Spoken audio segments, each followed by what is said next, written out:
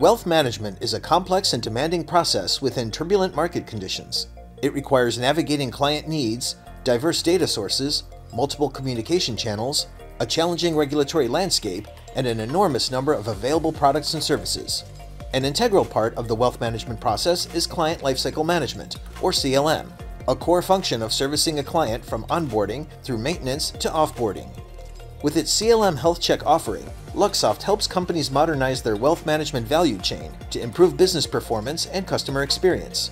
Our CLM Health Check helps you identify and consolidate challenges through validation and prioritization of pain points, bottlenecks, and satisfaction levels within the current CLM organization, connect the organization by joining the dots between IT and business decisions and actual operational process requirements, and refresh the CLM vision with a clear representation of qualified information to drive successful definition of the CLM program objective, roadmap, delivery phasing, and priorities.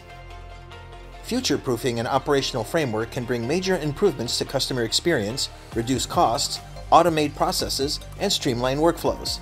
Our target operating model consulting covers operating model and process reengineering to harmonize and standardize processes and operating models, organization design and effectiveness to determine a fit for purpose future state organization structure to drive growth, efficiencies, and manage operational risk, and culture and change management, providing advisory support in managing critical organizational changes.